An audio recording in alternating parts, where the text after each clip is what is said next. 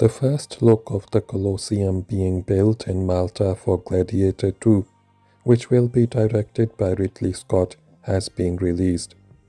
The exclusive images obtained by TMZ show the Colosseum under construction. Denzel Washington, Pedro Pascal, Derek Jacobi, Connie Nielsen, and Paul Mescal are set to star in the sequel.